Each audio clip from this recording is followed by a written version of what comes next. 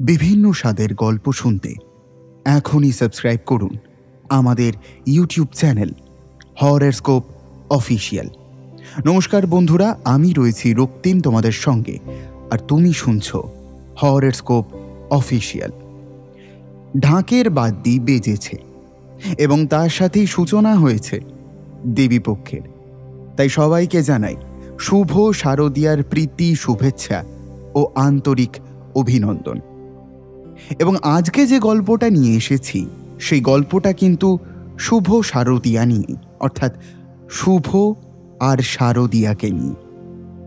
আজকে তোমাদের জন্য থাকছে অয়ন মাখালের কলমে নরাধম। গল্পে যাওয়ার আগে সবার কাছে একটা ছোট্ট অনুরোধ, আমাদের চ্যানেলটি সাবস্ক্রাইব করে দাও, বেল আইকন প্রেস করে দাও, যাতে নতুন নতুন গল্পের আপডেট সবার আগে পৌঁছে যায় তোমার কাছে। তো আর বেশি দেরি নয়। আজকের গল্প পাঠ এবং গল্পের সূত্রধার, আমি রক্তিম। শুরু করছি আমাদের আজকের গল্প, অয়ন মাখালের কলমে নরাধম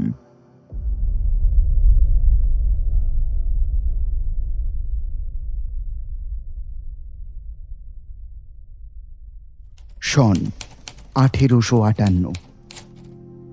এনফিল্ড রাইফেলের কার্টুজে মাখানো, গাভী ও শুকরের চর্বিকে কেন্দ্র করে দেশে তখন সেপাই বিদ্রোহের আগুন ছড়িয়ে পড়েছে চারিদিকে।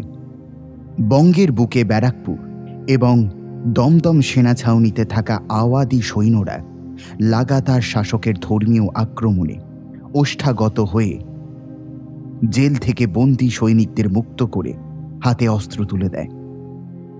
এই অভ্যুত্থানের কাণ্ডারি মঙ্গল পাণ্ডেকে গ্রেফতার করে, জনসমক্ষে ফাঁসি দিয়ে বিপ্লবের মেরুদণ্ড গুঁড়িয়ে দিতে উদ্যত হয় ব্রিটিশ শাসন।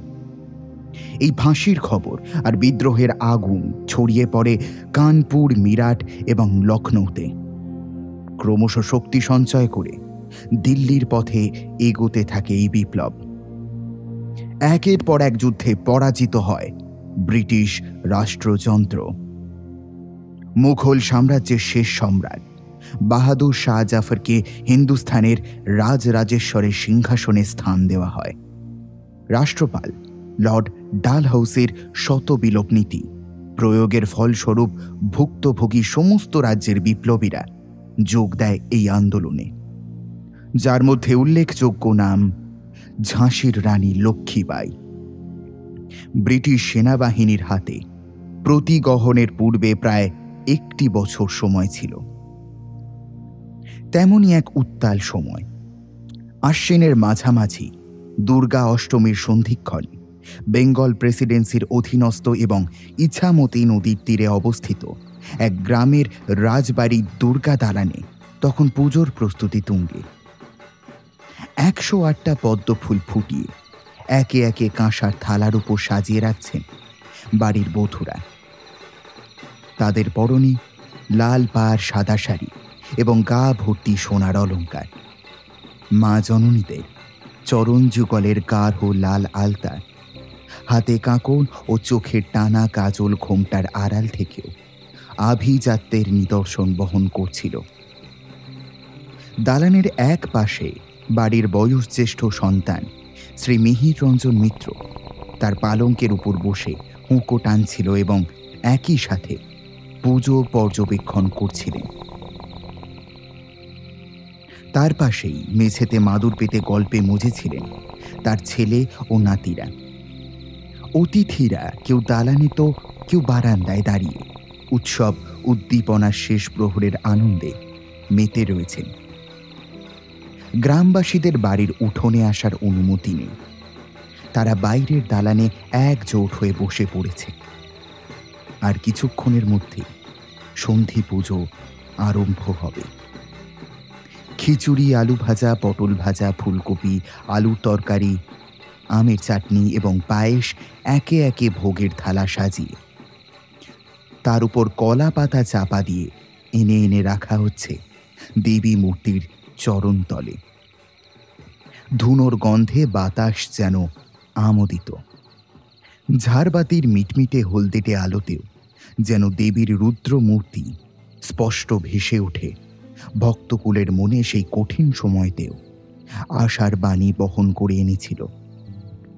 চরম দারিদ্র, জরা, ব্যাধি ও রক্তক্ষয়ী সংগ্রামের মাটির উপর বিস্তীর্ণ শ্মশান ভূমি দিয়ে মরা যদি বয়ে চলে, সেই খরস্রোতের প্রতিকূলে সাঁতরে ওঠা মানুষের প্রাণস্পন্দনের বিন্দুমাত্র আঁচো এই বিত্তশালী জমিদার বংশ টের পায় না।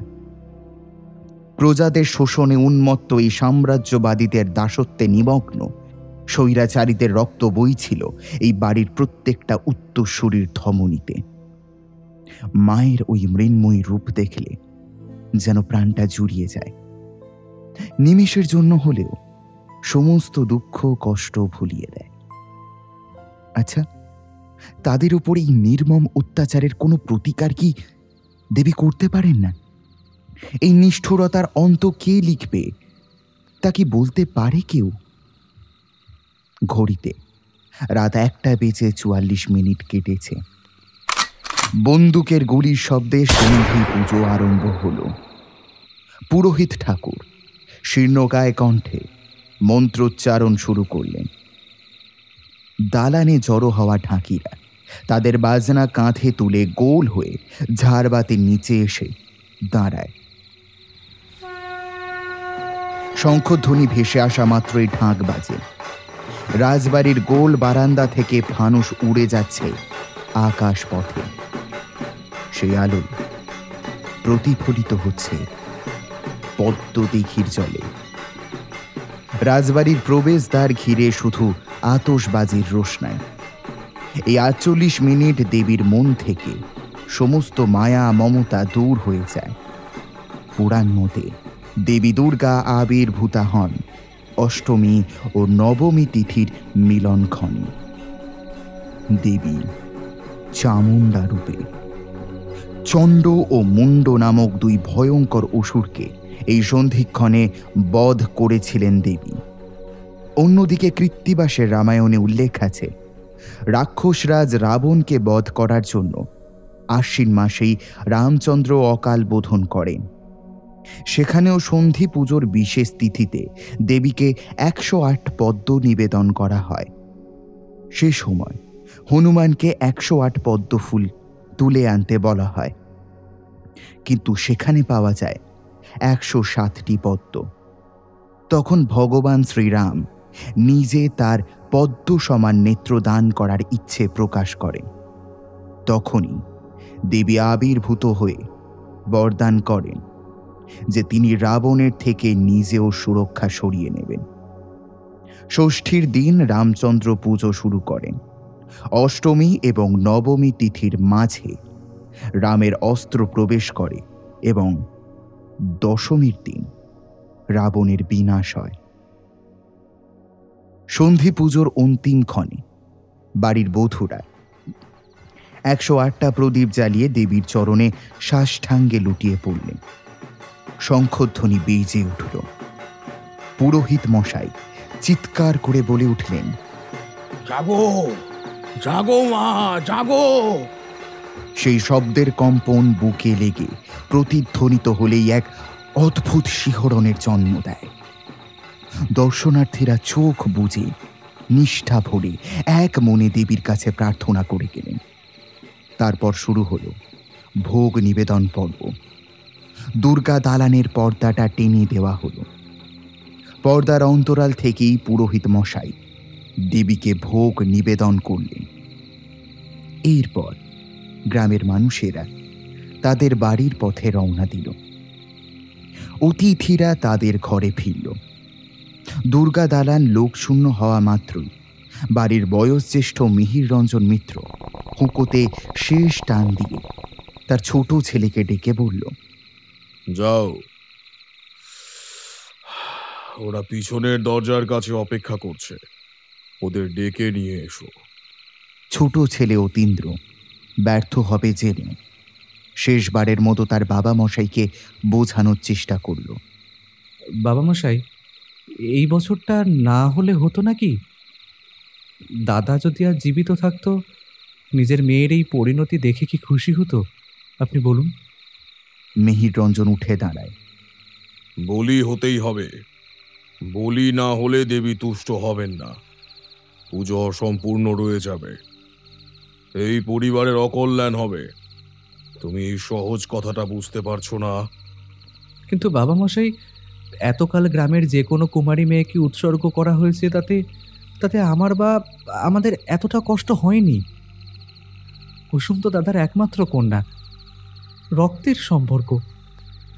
তাকে কীভাবে বাকি কথাটা শেষ করতে পারে না।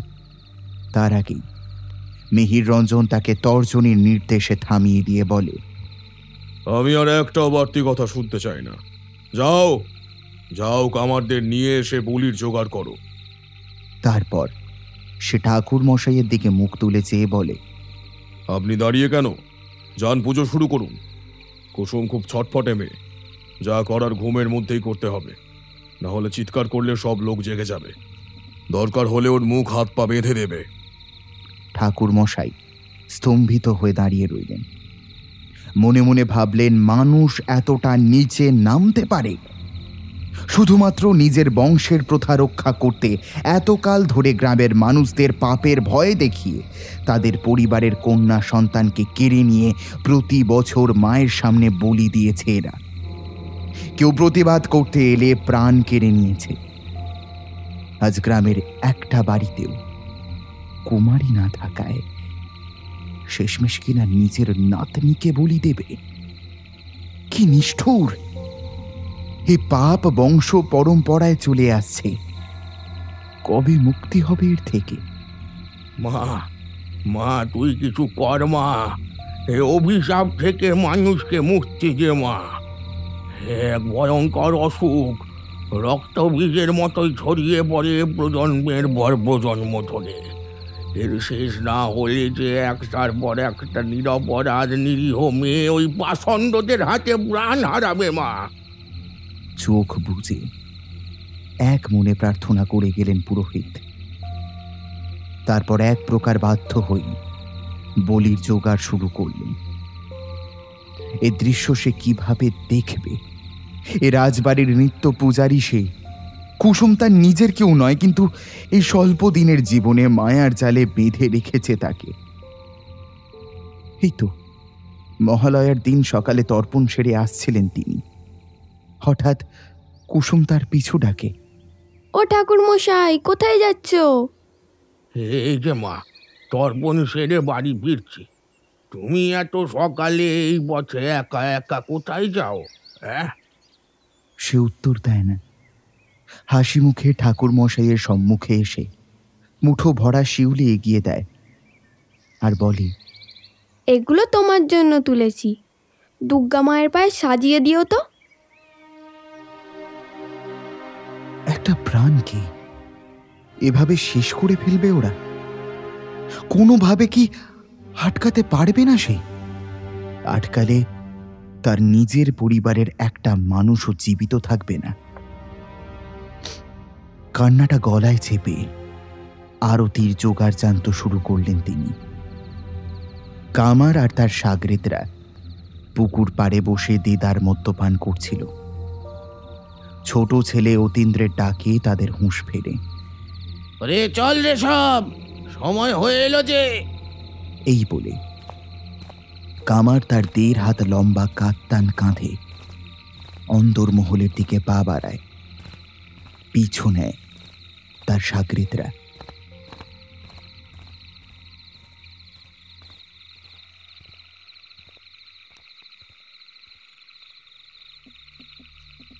সারাদিন খেলে বেরিয়ে ক্লান্ত হয়ে ঘুমে ঢলে পড়েছিল ছোট্ট কুসুম।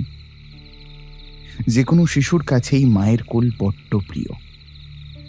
তাই মায়ের কোলে নিশ্চিন্তে ঘুমোচ্ছিল সে। আজ বছর তিনেক হলো দাদা মারা গিয়েছেন। বউ ঠাকুরানের সবটুকু জুড়ে ওই ছোট মেয়েটা।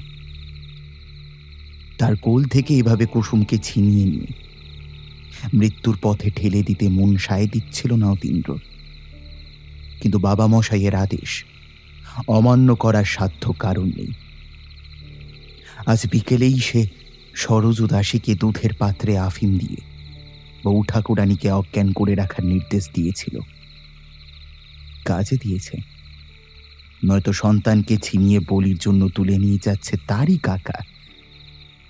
সে দৃশ্য কেউ দুঃস্বপ্নেও কল্পনা করতে পারবে না। তার চেয়ে বরং ঘুমিয়ে থাক। এছাড়া পরিস্থিতি সামলানোর আর কোনো উপায় সে পায়নি। হাত পাখাটা বালিশের পাশে পড়ে রয়েছে। কুসুমকে বাতাস করতে করতে কখন যে বউ ঠাকুরানের চোখ দুটো লেগে গিয়েছে, তা সে নিজেও বোধহয় জানে না। একটু শব্দ না করে পা টিপে টিপে ঘরে ঢুকল অতীন্দ্র আস্তে করে কুসুমকে মায়ের কোল থেকে নিজের পিঠে ভর দিয়ে শুইয়ে দিল সে। তারপর আস্তে আস্তে বারান্দা পেরিয়ে সিঁড়ি ধরে ঘুমন্ত কুসুমকে ঠাকুর দালানে নিয়ে এলো। এর মাঝে কুসুম তার পিঠে মুখ গুঁজে ঘুমের ঘড়ি প্রশ্ন করে আমায় কোথায় নিয়ে যাচ্ছ? অতীন্দ্র উত্তর দিতে পারে না। সে কি করছে আজ? নিজেকে এতটা ঘেন্না সে কোনো কালে করেনি। অন্য বছরে বলির সময় সে দরজায় খিল তুলে ঘরে চুপটি করে বসে থাকে। বাড়ির কেউই সে দৃশ্য দেখে না। বাবা মশাই তার বিশ্বস্ত কামার আর কুলো পুরোহিতকে দিয়ে গ্রামের থেকে কুমারী মেয়েকে ছিনিয়ে এনে বলি দেয়। সবাই এ কথা জানে। সেটাতে আরতি ঢাকে শব্দের সাথে। মেয়েগুলো শেষ আর্তনাদ শুনতে পায় তারা। কিন্তু নিরুপায়ের মতো ঘরের এক কোণে চোখ, কান বুঝে দেবীকে প্রার্থনা করে।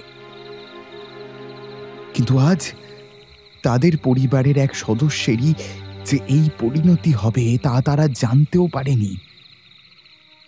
শুধু ছোট ছেলেও তিন্দ্র জানত তারা কাল সকালে সবটা জানবে যখন আর করার কিচ্ছু থাকবে না। দুর্গা দালানে তখন বলির সমস্ত তোড়জোড় সেরে ফেলেছে কামারের দলবল। কুসুমকে কোল থেকে কামারদের হাতে তুলে দিল। কুসুম চোখ খুলে কিছু বুঝতে পারার আগেই কামার তার হাত দিয়ে মুখ চেপে বেঁধে ফেলল। বোবা আর্তনাদ আর কত দূরেই বা শোনা যায়। চেপে ধরে কোনো মতে তাকে হাঁড়ি কাঠ পর্যন্ত টেনে হ্যাঁচড়াতে হ্যাঁচড়াতে নিয়ে গেল সাগরেদরা এই কষ্ট চোখে দেখা যায় না। থামের আড়ালে মুখ লোকালো অতীন্দ্র আরতির দানি হাতে পুরোহিত মশাই থরথর করে কাঁপতে শুরু করেছে। চিৎকার করে ওঠেন মিহির রঞ্জন। হলো? ঢাক বাজাও, উলু দাও। ঠাকুর মশাই দাঁড়িয়ে কেন মন্ত্র পড়ুন, আরতি করুন। এই বলে সে পালঙ্ক থেকে উঠে গিয়ে হাঁটু মুড়ে দেবীর সম্মুখে বসে। নিমেষের মধ্যে ঢাক বেজে ওঠে। পুরোহিত মশাই আরতি শুরু করলেন। হাঁড়ি কাঠে মাথা দেওয়ার সাথে সাথেই কুসুম ছটফট করে নিজেকে প্রাণপণে বাঁচানোর চেষ্টা করে, কিন্তু ব্যর্থ হয়। তার চিৎকার ছটফটানির বিন্দু মাত্র আঁচো অন্দরমহলে কাল ঘুমে নিদ্রিত তার মায়ের কান পর্যন্ত পৌঁছচ্ছিল না। কামার কামার সেই দেড় হাত কাত্তানটা শক্ত করে চেপে ধরে। মনে মনে কি যেন বলে গেল। আর যে কিছুই করার রইল না অতীন্দ্র। সবই শেষ। এবার শুধু কুসুমের কাটা মাথাটা গড়িয়ে দেবীর চরণে দেওয়া পর্যন্ত অপেক্ষা। ওই ছোট শরীরটায় যেটুকু রক্ত আছে, তাই দালানময় ভাসিয়ে দেবে। কাটার সময় যদি সে রক্ত ছিটিয়ে তার মুখে লাগে, সে কি সহ্য করতে পারবে? হাত মুঠো করে দাঁতের দাঁত চেপে এতক্ষণ সবটা দেখছিল তীব্র এবার এবার আর সে পারল না। চোখ বুঝে ফেলতে যাবে ঠিক সেই সময়। বাবা মশাই বলে উঠলেন বলি গ্রহণ কর মা তুই তুষ্ট হ তুই তুষ্ট হ মা। উলু দিয়ে ওঠে সাগরেদরা নিমিষের মধ্যে কামারের কাত্তানের কোপে কুসুমের গলা ছিঁড়ে বেরিয়ে যায় মাথাটা। রক্তের স্রোত বয়ে চলে তার গলার নলিবে। তখনও ঢাক বাজছে। ঠাকুর মশাই কোনো রকমে নিজের হাতটুকু চালিয়ে আরতি করে চলেছেন। এর মধ্যেই মিহির রঞ্জন বলে ওঠে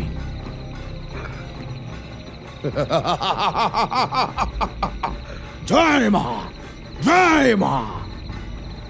সেই পৈশাচিক হাসি মিশ্রিত কণ্ঠস্বর প্রতিধ্বনিত হয় বাড়ির প্রত্যেকটা কোণায়। অতীন্দ্র উত্তেজনা সামলাতে না পেরে মাটিতে লুটিয়ে পড়ে বুকের যন্ত্রণায় কাতরাতে থাকে। বলি নিবেদন পর্বের অন্তে ভোরের আলো ফুটে ওঠে।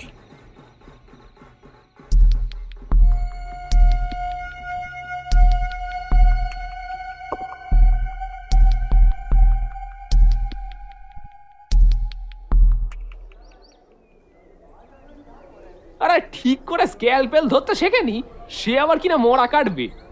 সহপাঠীর বিভ্রান্ত অবস্থা দেখে এক ঘর লোকের সামনে বলে ওঠে, এমবিবিএস এর প্রথম বর্ষের ছাত্র, মৈনাক। ক্লাস শুরু হয়েছে, সে প্রায় মাস দুয়েক হতে চলল। প্রথম ডিসেকশন ল্যাবে আসার পর কিছু সপ্তাহ প্রায় কোনো ছাত্রছাত্রী গলা দিয়ে খাবার নামাতে বা নিশ্চিন্তে ঘুমোতে পারে না। টেবিলের উপরে শুইয়ে রাখা মৃতদেহের গা থেকে ভেসে আসা ফর্মাল ডিহাইডের বিশ্রী গন্ধের মাদকতায় কিছু দিনের জন্য মুখের স্বাদটাকে মেরে ফেলতে হয়। খাবার মুখে তোলার মোক্ষম মুহূর্তে খোবলানো মাংসপেশি, কিঁচোর মতো পেটের ভিতর কিলবিল করতে থাকা ক্ষুদ্রান্ত বা লালচে থলথলে চর্বির মতো মাথার ঘিলুর ছবি চোখের সামনে ভেসে ওঠে। বমি করা থেকে জ্ঞান হারানো এই সবই চলে প্রথম বর্ষের গোড়ার দিকে। এ কথা নতুন নয় কিন্তু নিজের হাতে কাটা ছেঁড়া শুরু করলে ভয় আর ঘেন্না দুই আস্তে আস্তে কমে যায়। এই বিষয়ে প্রথম বর্ষের ছেলেদের সিনিয়র দাদা দিদিরা প্রায়ই বলে থাকে আরে ও প্রথম প্রথম হয় এরপর লাশের পাশে বসে মাংসের ঝোল ভাত খেলেও কিছু মনে হবে না। সিনিয়রদের কথা মতোই একটু একটু করে সবারই ফোবিয়াটা কমে গেছে। এই দু মাসের মধ্যে একমাত্র একটি মেয়ের ছাড়া। তার দিকে তাকিয়ে এবার প্রফেসর বসু চিৎকার করে উঠলেন। শারদিয়া তোমাকে তো এতবার বলেছি আরও সামনে থেকে দেখো। এই দূরে এক কোণে দাঁড়িয়ে কখনো প্র্যাকটিক্যাল শেখা যায় না। আহ কি যে বলেন না স্যার।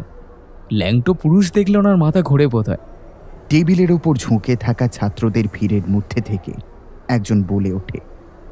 বাবা সে কি রে? মরা মাল দেখেই মাথা ঘুরছে আবার জ্যান্ত দেখলে? কথাটা শেষ হওয়ার আগেই বাকিরাও হেসে ওঠে। সাইলেন্স! এটা একটা ল্যাব না পাড়ার চায়ের দোকান হ্যাঁ? প্রফেসর বসু দাবরে চুপ করানোর চেষ্টা করলেন বাকিদের। তারপর স্ক্যালপেল আর গ্লাভস ফেলে রেখে রেগে মেগে ল্যাব ছেড়ে বেরিয়ে গেলেন। শুধু যাওয়ার আগে শারদিয়ার সামনে এসে দাঁড়ান এবং বলেন কাল থেকে আমার ক্লাসে আসলে একদম সামনের রোতে দাঁড়াবে আর না হলে ক্লাসে আসতে হবে না। একজনের জন্য গোটা ক্লাসটা নষ্ট হলো। প্রফেসর বোস বেরিয়ে যাওয়া মাত্রই সহপাঠীরা শারদিয়াকে ছেঁকে ধরল। তাদের ক্লাস নষ্ট হওয়ার অভিযোগ যে কখন ব্যক্তিগত আক্রমণের পর্যায়ে চলে গেছে তা তারা নিজেরাও জানত না। ডিসেকশন ল্যাবের কার্নিশের জানলাবে, গুঁড়ো রোদ এসে পড়েছে শারদিয়ার অমলিন মুখে। তার দু চোখ বেয়ে অবারিত অশ্রুধারা নেমে এসে অ্যানাটমির খাতার নতুন পাতার উপরে যেন কালচে রক্তের ছোপ এঁকে দিল। ক্লাস শেষ হওয়ার ঘণ্টা পড়ল কিছুক্ষণের মধ্যে বাকি ছাত্ররা একে একে ফিরেও গেল। শুধু ওই পচা গলা লাশের স্তূপের মাঝে। এক কোণে দাঁড়িয়ে রইল বছর কুড়ির মেয়েটা। ডাক্তারি ছেড়ে দেওয়া ছাড়া সত্যি আর কোনো উপায় রইল না। যে মানব দেহকে সে এই স্বল্পকালের জীবনে সবচেয়ে বেশি ঘৃণা করেছে, তাদের অভ্যন্তরীণে ঢুকতে যাওয়াটা তার পক্ষে কোনোভাবেই সম্ভব হয়ে উঠছে না।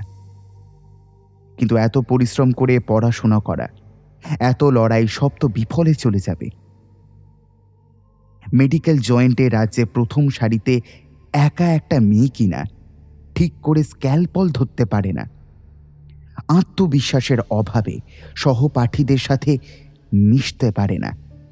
প্রতিটা মুহূর্তে তাকে একটা অজানা ভয়ে তাড়া করে বেড়ায়। কোনো সুস্থ মানুষের পক্ষে কি নিজের এই পরিণতি মেনে নেওয়া সম্ভব? তবে কি শারদিয়া মানসিকভাবে সুস্থ নয়? এই দ্বন্দ্বেই তার দিনের প্রত্যেকটা মুহূর্ত কাটে। ছোটবেলায় এক দুবার সুইসাইড অ্যাটেম্প্ট পর্যন্ত করার চেষ্টা করেছিল, কিন্তু তাতে বিশেষ লাভ হয়নি। ব্যর্থ চেষ্টা হতাশা বাড়িয়েছে, আর তার সাথে রক্তাক্ত অতীত যেন বর্তমানকে প্রতিনিয়ত ঝলসেছে। ব্যাগটা কাঁধের একদিকে কোনো রকমে ঝুলিয়ে, হাতে নোটস আর বই শক্ত করে চেপে ধরে ডুকরে কাঁদতে কাঁদতে মেন গেটের সামনে এসে দাঁড়ায় শারদিয়া। হয়তো শেষবারের মতো একবার মাথা উঁচিয়ে একশো পঁচাশি বছরের পুরনো স্মৃতিস্তম্ভটাকে দেখার চেষ্টা করল সে। প্রবেশদ্বারের প্রাচীরের গায়ে খোদাই করে লেখা, মেডিকেল কলেজ, কলকাতা। বছর পাঁচেক আগে দাদুর হাত ধরে কলেজ স্ট্রিটে নতুন ক্লাসের বই কিনতে এসে প্রথম এই সাদা দেওয়ালের উপর খোদাই করা নামটা দেখেছিল সে। সত্যি তো, প্রতি মুহূর্তে কত মানুষ আসছে এই প্রতিষ্ঠানে। এ যেন মন্দির। মানুষ অসুস্থ মৃতপ্রায় অবস্থায় আসে একটা শেষ আশা নিয়ে। আর সেই তিমির সরণি থেকে ফিরিয়ে আনার কাজটা যারা করে তারাই ডাক্তার। তারা মানুষ নয়, আবার তারা মানুষ তৈরির কারিগরও নয়। তারা দেবতুল্য। তাই জীবনের একটাই লক্ষ্য হোক আজ থেকে, ডাক্তার হওয়া। মনুষ্যের কল্যাণে আত্ম উৎসর্গের সবচেয়ে লালিত পন্থা।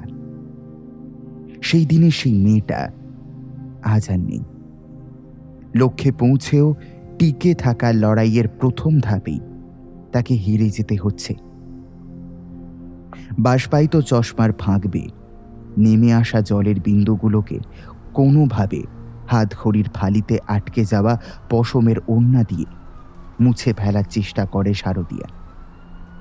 হঠাৎ ট্রমা কেয়ারের গেটের ওপাশ থেকে অ্যাম্বুলেন্সের সাইরেন ভেসে আসে। শব্দটার সাথে শারদিয়ার পূর্ব পরিচিতি রয়েছে।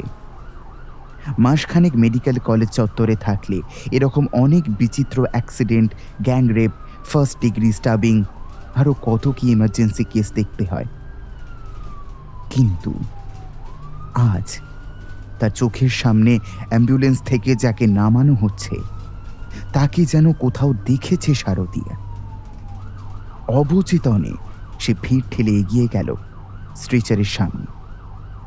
মুখটা তার খুব চেনা অ্যাম্বুলেন্সটা থামার আগেই স্ট্রেচার নিয়ে ওয়ার্ড বয় ও ডাক্তার এসে উপস্থিত হয়েছে। আর তারপরেই আসে প্রেস মিডিয়ার আক্রমণ। খবর, রিপোর্টিং শুরু হয়।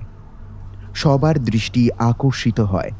অ্যাম্বুলেন্স থেকে নামিয়ে আনা সাদা চাদরে মোড়া প্রাণহীন নারী দেহটির দিকে। জ্বলনের তীব্রতা যেন সুস্পষ্টভাবে ফুটে উঠেছে। তার কোমল মুখশ্রীতে চোখের তলায় কালশিটের দাগ আর কপালের ঠিক ডান চোখের উপর। জমাট বাঁধা রক্তের ছোপ। এই মুহূর্তের বিশেষ খবর, অগ্নিদগ্ধ গৃহবধূ যাদবপুর নিবাসী রুমা পোদ্দারকে মেডিকেল কলেজে আনা হলো।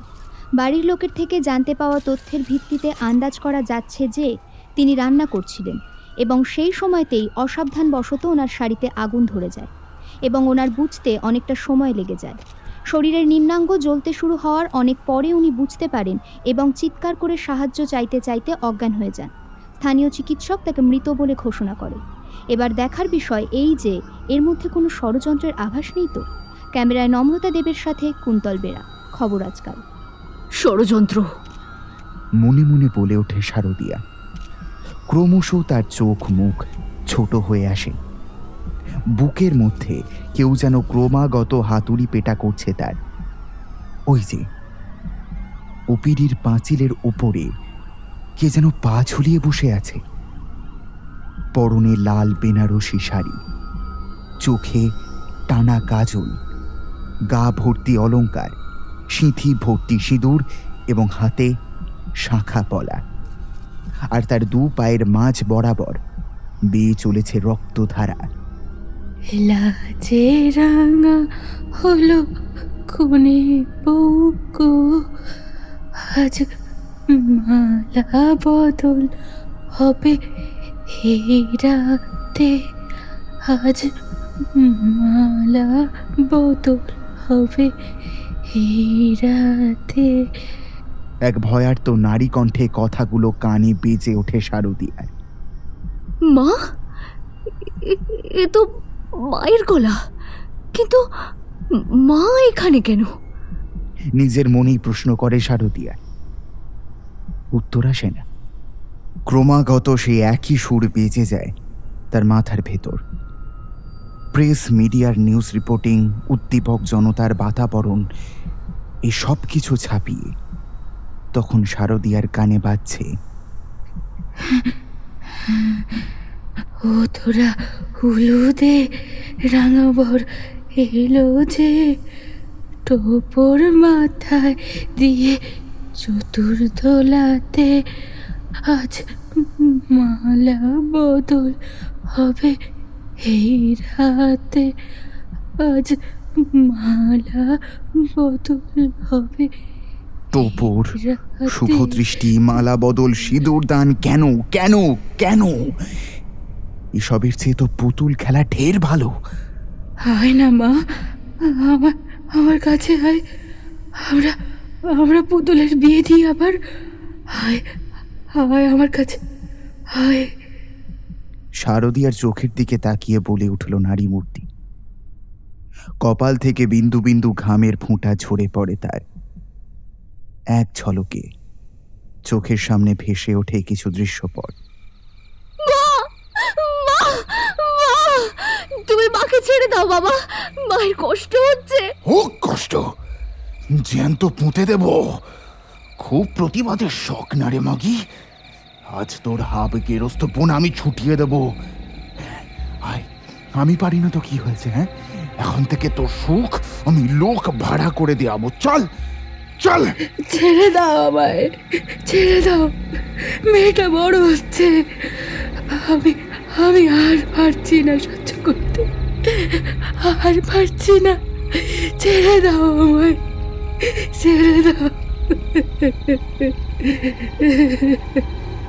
ঠোঁট সেলাই করে পা বেঁধে অ্যাসিড ঢেলে পুড়িয়ে মেরে ফেলার দৃশ্য কি কোনো বাচ্চা মেয়েকে সাধারণ থাকতে দেয়? ছুরিকাঘাত, রক্তপাত, অ্যাসিড, তলপেটে সেলাই, বমির গন্ধ আর নিতে পারছে না শারদিয়া। সে দু চোখ বুঝে চিৎকার করে ওঠে।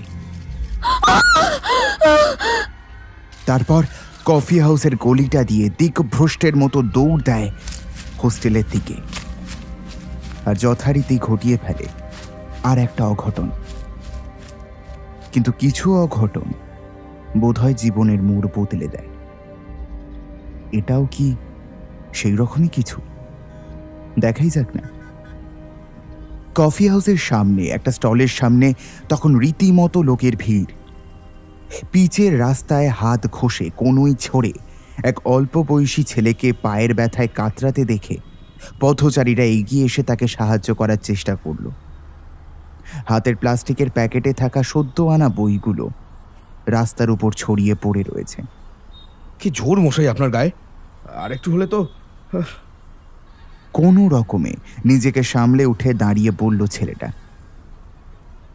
শারদিয়া সেই মুহূর্তে ক্ষমা চাওয়ার ভাষাও খুঁজে পাচ্ছে না। অজান্তে কারোর উপর আঘাত আনার ফলস্বরূপ অপরাধী বোধটা তাকে দিক শূন্য করে তুলেছিল। কোনো রকমে নিজেকে সামলে উঠে ছেলেটির বইগুলো মাটি থেকে কুড়িয়ে ধুলো ছেড়ে হাতে দিয়ে সেই করুণ স্বরে বলে দুঃখিত। আমার জন্য আপনার এই অবস্থা হলো। আমি যে কি বলে কথাটা শেষ করতে পারে না শারদিয়া। তার চোখ চলে যায়। ছেলেটির হাতের উপর ঘায়ের চারপাশে জমাট বেঁধে থাকা রক্তের ছিটের উপর। প্রথম দেখাতেই শিউরে উঠে চোখ বুজে ফেলে সে। তারপর আস্তে আস্তে ছেলেটির হাতটা ধরে দেখার চেষ্টা করে। যা এই কি? হাতে গ্রেস অ্যানাটমি বই, আর এদিকে রক্ত দেখে ভয় পাচ্ছেন? আজব ডাক্তার তো আপনি।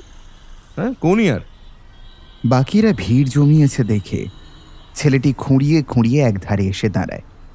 এবং এইটা বোঝানোর চেষ্টা করে যে এক পায়ে ইতিমধ্যে কালশিটে পড়ে গেলেও, হাত ছড়ে রক্ত বয়ে ঘা হয়ে গেলেও, আচমকা এক ভীতু, অন্তর্মুখী এবং সর্বোপরি মিষ্টি মেয়ের ধাক্কাতে।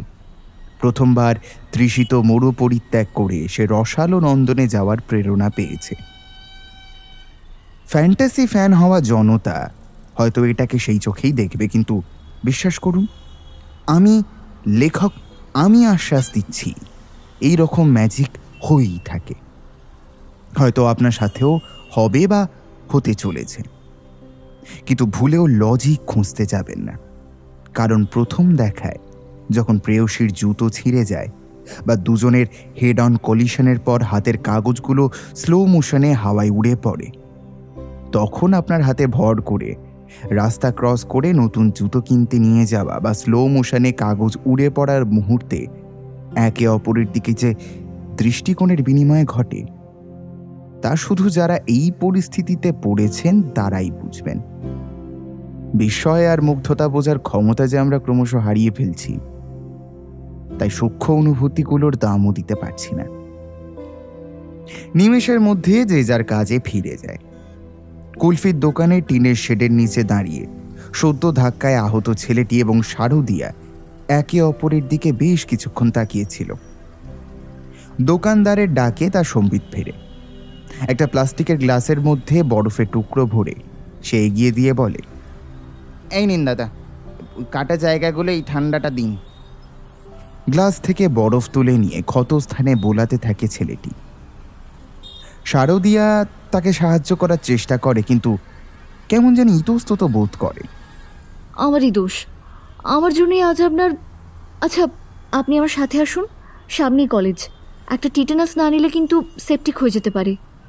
ছেলেটি মাথা নেড়ে সম্মতি জানিয়ে শারদিয়ার পিছু নিয়ে হেঁটে গেল। ফার্স্ট ইয়ার নাম শারদিয়া ও নাইস নেম আমি শুভদীপ আপনি আমাকে শুভ বলতে পারেন। কথা বলতে বলতে কলেজের গেট এসে গেল। ধারালো সূচের ফলা শুভদীপের হাতে ঢুকতে দেখে শারদিয়া আবার চোখ সরিয়ে নিল। ইঞ্জেকশন দিয়ে বেরোনোর পর এই প্রথম শারদিয়া একটা প্রশ্ন করল। আপনি কি এখানেই কোনো হোস্টেল বা পিজিতে থাকেন? হ্যাঁ সেরকমই। কেন বলুন তো? তাহলে আপনার হোস্টেল পর্যন্ত এই বইপত্রগুলো পৌঁছে দিতে পারতাম। আপনার হাতে পায়ে চোট তারপর এইমাত্র ভ্যাকসিন নিয়েছেন। ও আচ্ছা এই ব্যাপার। না আমাকে পৌঁছে দিতে হবে না। আপনি বরং সাবধানে হোস্টেলে ফিরুন।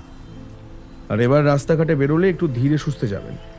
আজ আমার জায়গায় কোনো গাড়ি বা অন্য কিছু হলে ভাবুন তো কি হতো একবার। শারদিয়া এক দৃষ্টে শুভর চোখের দিকে তাকিয়েছিল। তার ডাকে সম্বিত ফিরল। হুম আমি আসি তাহলে? আহ? হ্যাঁ আসুন।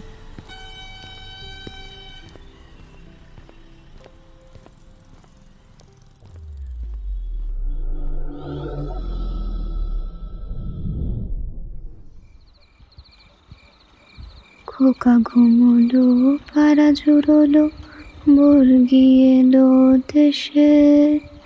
বুলবুলিতে ধান খেয়েছে, খাজনা দেব কিসে? ধান ফুরলো, পান ফুরলো খাজনার উপায় কি? আর কটা দিন সবুর করো, রসুন বুনেছি।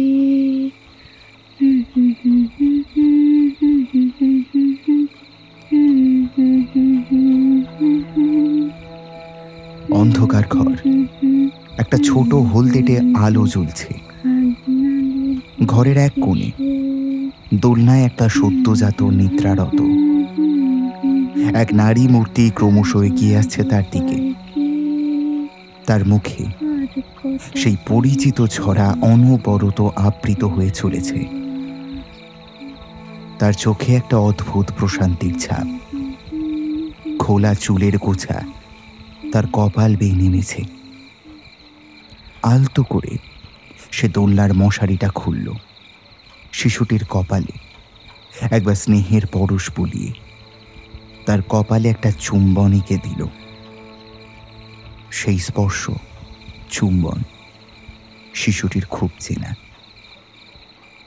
ঘরের রংচটা দেওয়ালে যেটুকু মিটমিটে আলো এসে পড়েছিল, তার ছায়াতেই দুজোড়া হাতকে শিশুটার গলার ওপর নেমে আসতে দেখা যায়। হঠাৎ নারী মূর্তির দুই হাত বজ্র কঠিন হয়ে উঠল। মুহূর্তের মধ্যে শুদ্ধ জাতের মুখ চিপে গলা টিপে ধরল। শুদ্ধজাতটি বোবা আর্তচিৎকারে ছটফটিয়ে ওঠে। নারী মূর্তি তার শরীরের সমস্ত বল প্রয়োগ করে। নিমেষের মধ্যে শিশুটির কান্না থেমে যায়। নিস্তব্ধতা গ্রাস করে নারী মূর্তিটিকে। মৃত শিশুর সবটি কোলে তুলে নিয়ে তার মাথা চাপড়াতে থাকে আর গাইতে থাকে, ঘুম পাড়ানি মাসি পিসি মোদের বাড়ি এসো। খাট নাই, পালুং নাই, চোখ পেতে বসো। বাটা ভরা পান দেব, গাল ভরে খেও। খোকার চোখে ঘুম নাই, ঘুম দিয়ে যেও। খোকার চোখে ঘুম নাই ঘুম দিয়ে যেও।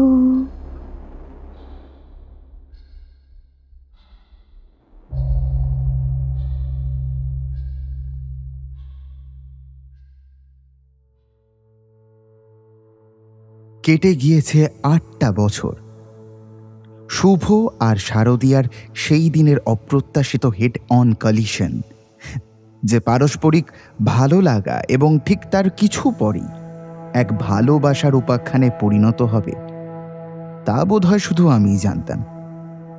আর পাবে নাই বা কেন বলুন দেখি। কতটা নিঃশর্ত হলে একজন মানসিকভাবে অসুস্থ মানুষকে জীবনের মূল স্রোতে ফিরিয়ে আনার চেষ্টা করা যায়।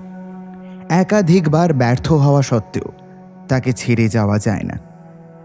আর সত্যি ভালোবেসে থাকলে বোধ হয় কিছুর প্রত্যাশা রাখা যায় না। তবে শুভ কখনোই শারদিয়ার প্রেমিক হতে চায়নি। ভালো বন্ধু হতে চেয়েছিল। ভরসার কাঁধ হতে চেয়েছিল। এই বন্ধুত্বই ছিল তাদের ভালোবাসার প্রধান স্তম্ভ। ভালোবাসা আজ পরিণতি পেয়েছে, দু বছরের একটু বেশি হতে চলল। ছাত্র জীবন থেকে যে প্রেয়সীর হাত ধরে খালি পায়ে কাশীমিত্র ঘাটের রেল লাইন পেরিয়েছে গঙ্গাবক্ষে নৌকা ভ্রমণে একে অপরের কাঁধে মাথা রেখে সূর্যাস্ত দেখেছে। কুমোরটুলির মাটি মাখা ঘরের মাঝে ভাঙা চাল বে ঠিকরে পড়া আলোক রশ্মিতে ভিজে। দুর্গামূর্তির সম্মুখে এক হয়ে থেকে যাওয়ার যে আকুতি তারা করেছিল, তার সামনে বোধহয় সর্বশক্তিমান ঈশ্বরও ভবিতব্য পাল্টাতে বাধ্য হবেন। আর হয়েও ছিল ঠিক তাই। সেই ধাক্কার বছর দুইয়ের মাথায়। শুভ সিভিল সার্ভিস পরীক্ষায় উত্তীর্ণ হয়ে তার স্বপ্ন আইপিএসে যোগদান করেছিল। আর শারদিয়া এমবিবিএসে গোল্ড মেডেল হাতে সদ্য সাইক্রিয়াটিতে এমটি শেষ করেছে। বর্তমানে শুভ ইছামতির তীরে টাকিতে পোস্টেড। শারদিয়াও এসেছে তার পুজোর ছুটি কাটাতে। এবং এই মুহূর্তে সে শুভর বুকে মাথা রেখে শান্তির ঘুমে আচ্ছন্ন। আজ মহালয়া। ঘড়িতে ঠিক ভোর চারটে বাজতেই অ্যালার্ম বেজে উঠল। মশারির বাইরে হাতটা বাড়িয়ে রেডিওটা চালিয়ে দিল শুভ।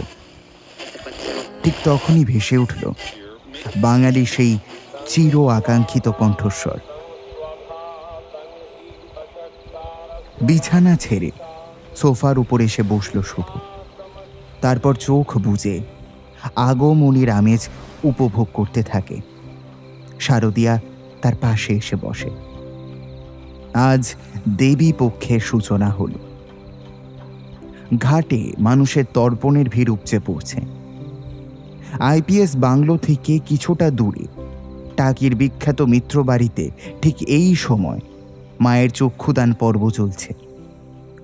বাড়ির সবাই ঠাকুর দালানে বসে মৃৎশিল্পীর সুনিপুণ হাতের কারুকার্য সোনার ভ্রমরী গৌরীর একই অঙ্গে মৃন্ময় রূপ প্রতিষ্ঠিত হতে দেখছে। একটা বছরের অপেক্ষা চলে আজকের দিনটার জন্য। বাবা বাবা দাদুকে ডেকে আনি আমরা। প্রশ্ন করে বাড়ির ছোট সদস্যরা। তার পরিপ্রেক্ষিতে উত্তর আসে দাদুর শরীরটা খারাপ তো বাবা। দাদু একটু পর ঠিক চলে আসবেন। তোমরা নিজেদের মতো খেলা করো। ক্যাব বন্দুক হাতে। কচি কাঁচার দল ঘরময় ছুটে চলেছে। বাকিরা, মহালয়ার পবিত্র স্তোত্র পাঠ শুনতে শুনতে দেবীর চক্ষু দান দেখছে। সবাই সেই ঠাকুর দালানে থাকলেও শুধু ছিলেন না, বাড়ির বয়োজ্যেষ্ঠ নাতিদের প্রিয় দাদু ভাই রাধা রমন মিত্র। আজ মাসখানেক হলো তার শরীরটা ভালো যাচ্ছে না। ছোট নাতির বিয়েতেও উপস্থিত থাকতে পারেনি সেভাবে। তাই তার সম্বল ওই রেডিওতে মহিষাসুর মূর্তিনি শোনা পর্যন্তই। আজকাল তিনি অল্পতেই রেগে যান, চিৎকার করেন, অসুস্থ হয়ে পড়েন। তাই বাড়ির কেউ তাকে কোনো রকমের উত্তেজনা দিতে চায় না। সারাটা দিন বন্ধ ঘরেই তিনি কাটিয়ে দেন। শুধু সময় মতো খাবার পৌঁছে দিয়ে আসার দায়িত্ব পড়ে বাড়ির পরিচারকদের উপর। অন্ধকার ঘর। বিদ্যুৎ থাকা সত্ত্বেও তিনি কৃত্রিম আলো জ্বালানো পছন্দ করেন না। মোমবাতি আর ঝাড় লণ্ঠন জ্বালিয়ে রাখেন। অন্ধকারেরও যে একটা আলো থাকে, তা এই ঘরে না ঢুকলে বোঝাই যায় না। ঝাড় লণ্ঠনের হলদেটে আলোতে মিশেছে। দেওয়ালের ঘোলাটে লাল রং। আতরের গন্ধ ঘরের ভিতরের বাতাসকে আমোদিত করে রেখেছে। ঘরময় লম্বা তাকে সাজানো রয়েছে বই। মাঝের দেওয়াল বরাবর হরিণের মাথার ঠিক নিচে রাখা আছে একটা বোল্ট অ্যাকশন রাইফেল। আর তার চারপাশেই সাজানো রয়েছে একজোড়া তলোয়ার, বর্ষা এবং ঢাল। খাটের উপর রাধারমন মিত্র, তার এক নারী দেহের সাথে সঙ্গমে লিপ্ত। অসুস্থ রাধারমন মিত্র যে তার সেবিকার সাথে যৌন সম্পর্ক তৈরি করেছেন এই কথা বাড়ির অনেকেই জানে। আবার জেনেও চুপ করে থাকে কারণ অন্নদাতার বিরুদ্ধে গিয়ে মাথার উপর ছাদ আর জমিদারি চাল খোয়াতে কজনই বাঁচায় আহ, বাবু আসতে। বয়সকালে লোকের দেওয়ার ক্ষমতা কমে যায় জানতাম। আপনি তো ব্যতিক্রম দেখছি। ধুর খানকে কি তো দেখিস নি এইবার দেখ। কথাটা বলি। মেয়েটির গলা টিপে, শরীরের উপর চেপে পড়ে, জোর খাটাতে থাকেন বৃদ্ধ রাধারমন। যন্ত্রণায় ছটফটিয়ে ওঠে সে। হিংস্র নরাধম এবার গর্জন করে বলে ওঠে, মায়ের চরণে একটা প্রাণ বলি চাই একটু রক্ত। আমি আমি অমরত্বের পথে হাঁটছি। ছেড়ে দিন। আমার দমাটকে আসছে। ছেড়ে দিন। ছাড়বো ছাড়বো তো। আগে আমার বীজ বপন করে দি তারপরে তো ছাড়বো এক প্রকার ধর্ষণই করছিলেন রাধারমন। তার কিছুক্ষণ পর নাতিদের ডাকাডাকিতে তার হুঁশ ফেরে। অপদগুলো আসার আর সময় পেল না। এই জাগিয়ে রেডিওটা বন্ধ কর। মেয়েটি কোনো রকমের সমস্ত শক্তি সঞ্চয় করে উলঙ্গ অবস্থায় গায়ে বিছানার চাদরটা জড়িয়ে উঠে গিয়ে রেডিওটা বন্ধ করে। তারপর রাধারমন বাবু কাতর গলায় বলে দাদু ভাই আমার শরীরটা একদম ভালো নেই গো। একটু বেলায় এসো তোমরা। আমি গল্প শোনাবো কেমন? ঠিক তারপরই আর একটা গলা দরজার ওপার থেকে ভেসে আসে। চলো চলো। দাদু ভাই এখন বিশ্রাম নিচ্ছেন। তোমরা নিচে গিয়ে খেলবে চলো। তার কিছুক্ষণের মধ্যেই বাচ্চারা নিচের তলায় নেমে চলে যায়। অন্ধকার দরজার এপার থেকে রাধারমন বাবু দেখলেন একটা ছায়া মূর্তি পাজামার পকেট থেকে সিগারেট বের করে আগুন ধরিয়ে পরপর দু টান দিয়ে ধীর গতিতে বারান্দা থেকে সরে যায়। নতুন চাকর? হ্যাঁ এই সপ্তাহখানেক হলো এসেছে। আগের জন তো সেই যে বাড়ি গেল আর ফেরার নাম নেই। এই যেমন তুই বাড়ি যাবি আর ফিরবি না। প্রত্যুত্তরে বলে রাধারমন। কি? না না কিচ্ছু না। নে। এবার দরজা খুলে চারিদিক দেখে নিচের তলায় চলে যা। তোকে আমার ঘরে এই সময় কেউ দেখে ফেললে সন্দেহ করবে। যা যা যা। মেয়েটি নিচের তলায় যাওয়ার জন্য পরনের কাপড় পরতে থাকে। এদিকে নিচের তলায় সবাই যখন দালানে চক্ষুদান দেখছে, তখন ওই সিগারেটধারী ছায়ামূর্তি বাইরের জঙ্গলের রাস্তা ধরে হাতে একটা টর্চ লাইট নিয়ে এগিয়ে যাচ্ছে। আইপিএস বাংলোর দিকে। গেটের সামনে আসতেই রক্ষীরা তাকে পরিচয় দিতে বলে। সে কোনো রকম কথা না বাড়িয়ে পকেট থেকে আইডেন্টিটি কার্ড বার করে রেখে দেয় টেবিলের উপর। তার উপর লেখা রয়েছে, অরিত্র সেনগুপ্ত, অফিসার সিআইডি। দরজা খোলা মাত্রই। শুভ বলে ওঠে। সাবধান অরিত্র। তুমি যে এখানে এসেছ কেউ তোমার অজান্তেই পিছু নেয়নি তো তোমার? অরিত্র ঘরে ঢুকে ছিটকিনিটা তুলে দিয়ে বলে না। আমি ওনার সন্দেহের তালিকাতেই ঢুকিনি। যাক নিশ্চিন্ত হলাম। শুভ কথাটা বলে অরিত্রকে বসতে বলে। তারপর পাশের ঘর থেকে কয়েকটা ফাইল ফরেন্সিক রিপোর্ট আর হোয়াইট বোর্ড মার্কারটা নিয়ে আসে। তারপরই প্রশ্ন করে অরিত্র গত রাতে বা আজ সকালের মধ্যে কোনো অদ্ভুত ব্যাপার লক্ষ্য করেছ? বাড়ির অন্য সদস্যরা এমনি যেমন আচরণ করে তেমনি করছিল। তবে রাধারমন মিত্রের ওপর একটা সন্দেহ থেকেই যাচ্ছে। উনি ওনার নতুন নার্সের সঙ্গে ঘরের মধ্যে কি করছিলেন সেটা একটু খতিয়ে দেখতে হচ্ছে। কি করছিলেন মানে? ইউ মেন টু সে দেখো আমি যদি খুব ভুল না হই তবে এটুকু বলতে পারি যে উনি অসুস্থ হলেও যতটা শয্যাশায়ী বলে বাড়ির লোকেরা দাবি করছেন, ততটা কিন্তু নয়। আমার যেন কেন মনে হলো এই নার্সের সঙ্গে ওনার একটা শারীরিক সম্পর্কের দিক রয়েছে। আরে, সিরিয়াস অরিত্র? ইয়েস আমি মাস কয়েক ধরে লক্ষ্য করে দেখেছি। আর তখন থেকে আমার এরকমই মনে হচ্ছে। এর মধ্যেই শারদিয়া চা নিয়ে হাজির হয়েছে। অরিত্র তাকে দেখা মাত্রই হাসি মুখে বলে শুভ শারদিয়াদি ও মানে শুভ মহালয়া। কথাটা বলতে গিয়ে হেসে ফেলে অরিত্র। যা বলেছ অরিত্র প্রতিবারই সবাই এই একই কথা বলে আর তোমার দিদি এভাবেই হেসে ফেলে।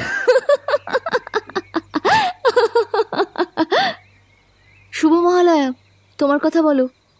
তবে আজ কিন্তু জলখাবার না খেয়ে কোথাও যাওয়া চলবে না। অরিত্র মাথা নেড়ে সম্মতি জানায়। এক হাতে চায়ের কাপ আর এক হাতে মার্কার ধরে।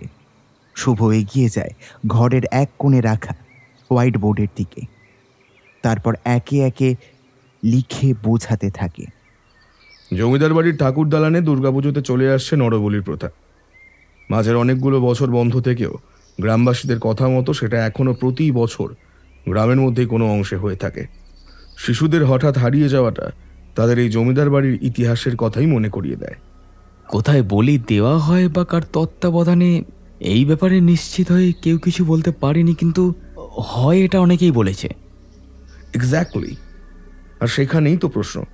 জমিদার বাড়ির মানুষ এর সাথে জড়িত বুঝতে পারা যাচ্ছে কিন্তু প্রমাণ করার কোনো রাস্তা নেই। আর এর সঙ্গে শেষ দু বছরে এই বাড়িতে অদ্ভুত কিছু ঘটনা ঘটে যায়। যেমন রাধারমন বাবুর বড় ছেলের পুত্রবধূর আত্মহত্যা এবং তাদের বাড়ির একজন আয়ার এক সদ্যজাতকে গলা টিপে হাসপাতালে মেরে ফেলা। এবং তখন থেকেই তিনি ফেরার। অনেক খুঁজেও লাস্ট এক বছরে তাকে পাওয়া যায়নি। কিন্তু অরিত্র ফরেন্সিক রিপোর্ট তো অন্য কথা বলছে।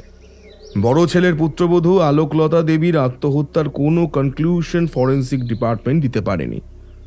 গলায় দড়ি দিয়েছিলেন বাড়ির মধ্যেই। তার প্রায় সপ্তাহখানেক পর একটা সুইসাইড নোট উদ্ধার করা হয়। কিন্তু তার সাথে ওনার হাতের লেখার কোনো মিল পাওয়া যায়নি। এদিকে ওনার বডিটা উদ্ধার করা হয় ঠাকুর দালানে। ঝাড় লণ্ঠনে ঝুলেছিলেন বলেই প্রত্যক্ষদর্শী আর ইনভেস্টিগেটিং অফিসারের বয়ানে বলা আছে।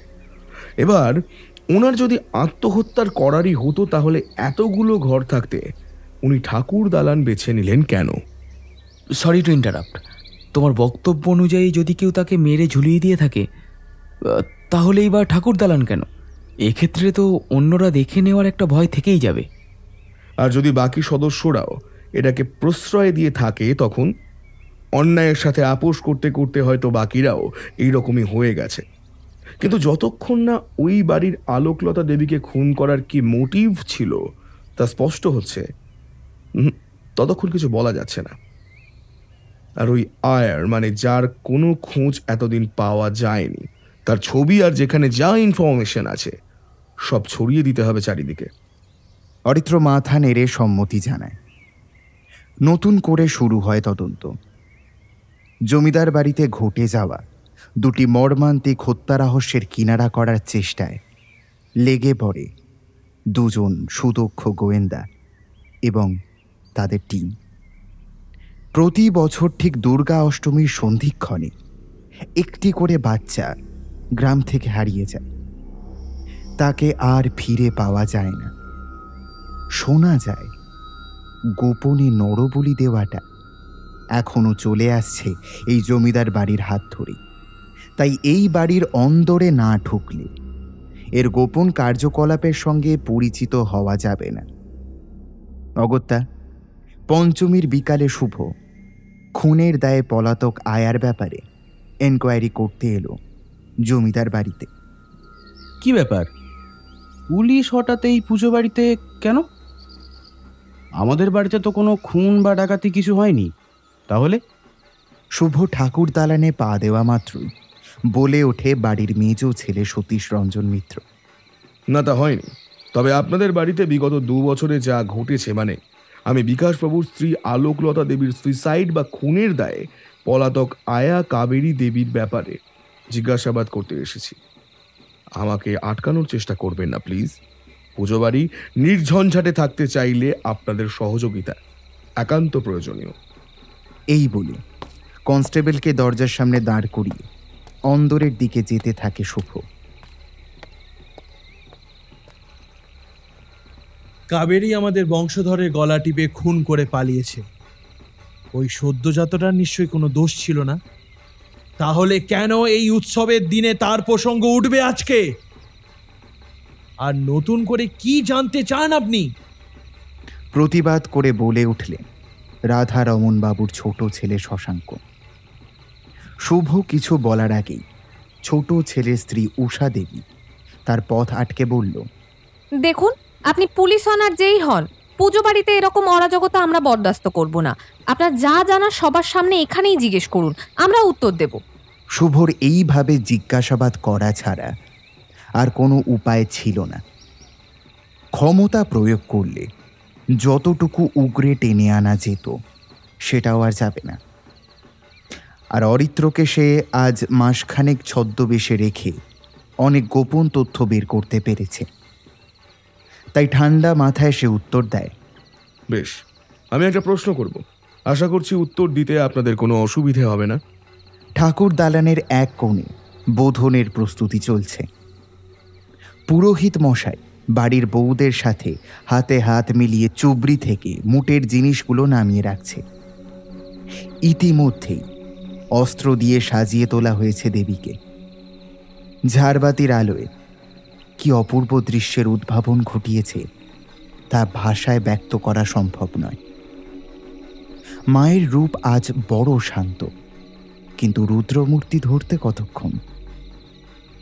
অন্যায়ের বিরুদ্ধে রুখে দাঁড়াতে তিনি দুধ পাঠান প্রত্যেকবার। কিন্তু এত বছরেও কি তিনি গ্রামের মানুষগুলোর অসহায়তার কথা ভাবেননি? প্রতি বছর একটা করে বাচ্চা কোথায় যাচ্ছে কেউ জানে না। এর কি কোনো কিনারা হবে না? আলোকলতা দেবীর বডিটা আপনাদের দেওয়া বয়ান অনুযায়ী এই বাড়ির ঠাকুর দালানে মানে এখানেই পাওয়া গিয়েছিল। এই যে ঝাড় লণ্ঠনের নিচে দাঁড়িয়ে আছি এটার সাথে ঝুলে পড়ে মৃত্যুবরণ করেছিলেন তাই তো? হ্যাঁ এটাই তো হয়েছে। কেন আপনার কি কোনো সন্দেহ আছে? যদি আপনার সন্দেহ থেকে থাকে তাহলে একবার পোস্টমর্টেম রিপোর্টটা ভালো করে দেখুন। শুভ তার কথায় বিন্দুমাত্র কর্ণপাত না করে ওর দ্বিতীয় প্রশ্ন করে বসে।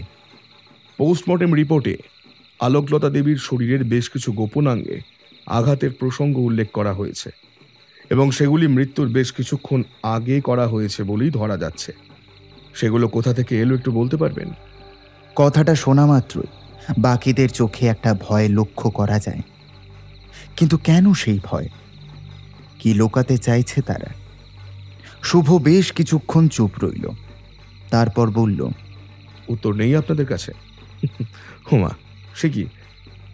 আপনারা এতগুলো মানুষ দেখেছেন স্টেটমেন্ট দিয়েছেন, আর এখন বলতে পারছেন না।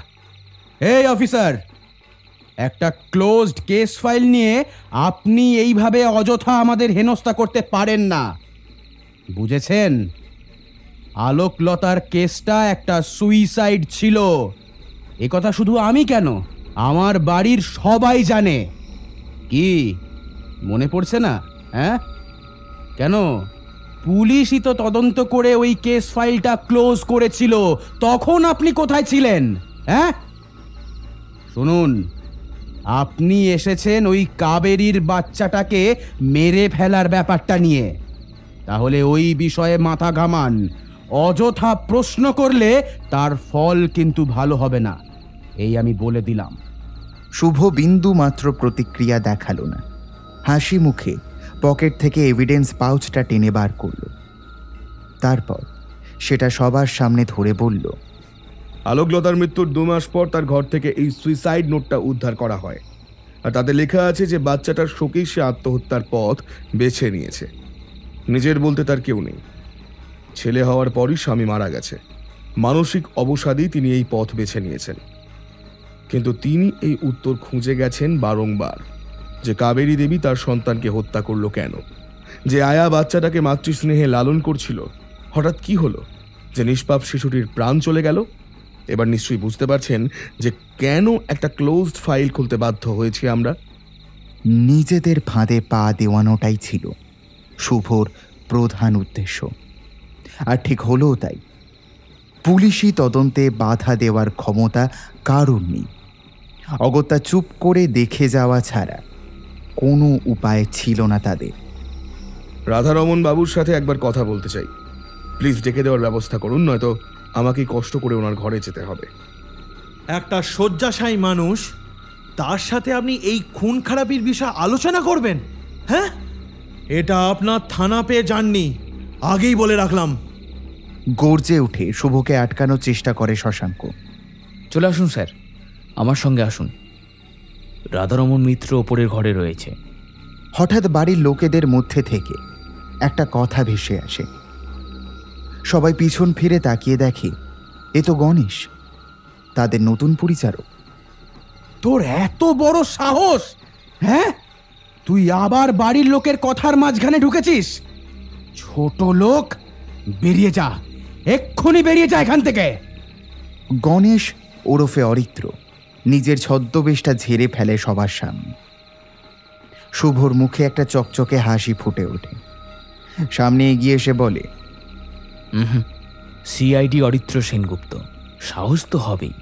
চলে আসুন স্যার এরা তো কাঠপুতুল। আসল ফিতেরা তো ওপরের জন ধরে আছে। এই বলে অরিত্র সোজা উপরের দিকে উঠে গেল। আর কোনো দিকে না তাকিয়ে শুভ তার পিছু নেয়। বাকিরা হতচকিত হয়ে চেয়ে থাকে।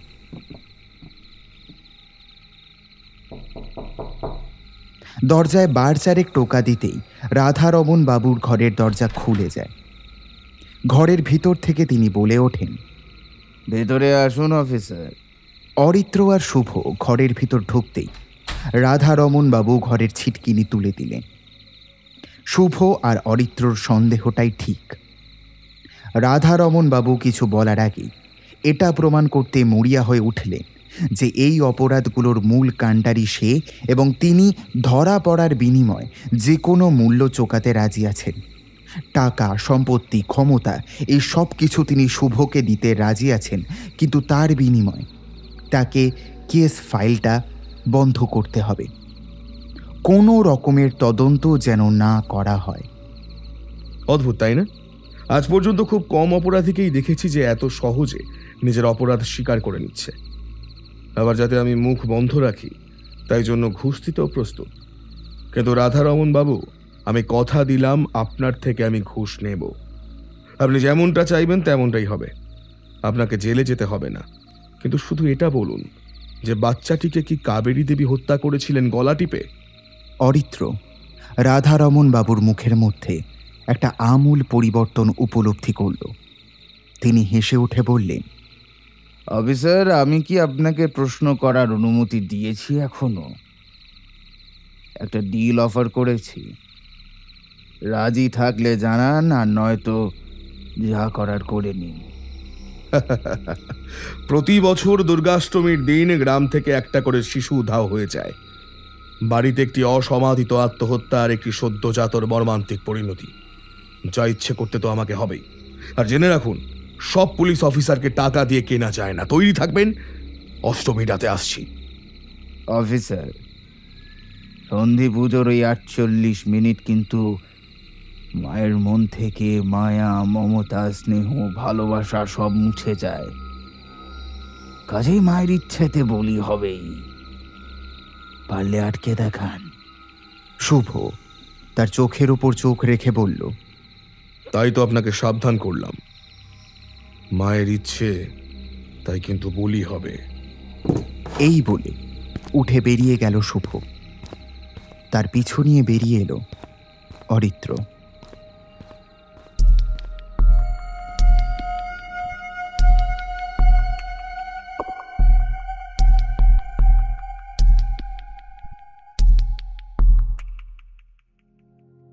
এর মাঝে দুটো দিন কেটেছে। পুজোর দিনগুলোতে কাজ করতে ইচ্ছা না হওয়াটাই স্বাভাবিক, কিন্তু কোথাও যেন অরিত্র আর শুভর মনুষ্যত্ব, দায়িত্বজ্ঞান এবং একনিষ্ঠতা তাদের বিশ্রাম নিতে দেয়নি। সোর্স কাজে লাগিয়ে যেখান থেকে যত রকমের ইনফরমেশন জানা যায়, সবটুকু দিয়ে তারা চেষ্টা করে গিয়েছে। এর মধ্যে বহুবার অনুমান মিথ্যেও হয়েছে। জাল এভিডেন্সের সম্মুখীনও হয়েছে বারংবার। কিন্তু তারা থেমে থাকেনি। অষ্টমীর বিকালে হঠাৎ অরিত্রর ফোনটা বেজে ওঠে।